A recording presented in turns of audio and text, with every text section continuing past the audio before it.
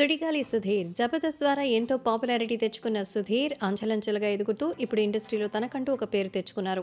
బుల్లితెరలో సుధీర్ ఉంటే ఆ show hit అయినట్టే కానీ ఈటీవీలో గత కొద్ది రోజులుగా ఆయన కనిపించడం లేదు.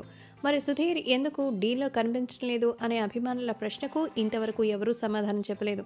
త్వరలో వస్తారని కొంతమంది లేదు ఆయన ఇక రారని కొంతమంది సుధీర్ని ఈటీవీలోంచి తీసేశారని మాది కొంతమంది చెప్తూ ఉంటే అందులో నిజానిజాలు తెలియక ప్రేక్షకులు ఇబ్బందులు పడుతున్నారు.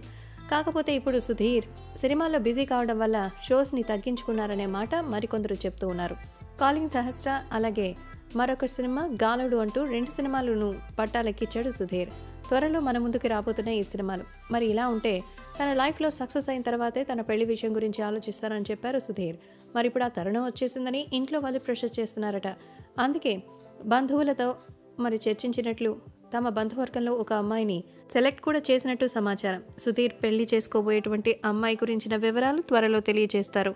సుధీర్ గత కొంతకాలంగా రష్మితో ప్రేమలో ఉన్నారని పెళ్ళి చేసుకుంటారని వార్తలు పుకార్లుగా వచ్చిన సంగతి తెలిసిందే. కానీ అవన్నీ ఉత్త పుకార్లు మాత్రమే అని అందులో నిజం లేదని మేము ఫ్రెండ్స్ అని వాళ్ళు చాలాసార్లు చెప్పారు అని అభిమానులే వాటిని డైజెస్ట్ చేసుకోలేకపోతున్నారు.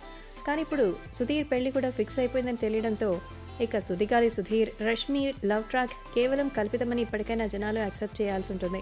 అలాగే పెళ్ళి చేసుకోబోయే అమ్మాయి గురించిన వివరాలు తెలియాల్సింది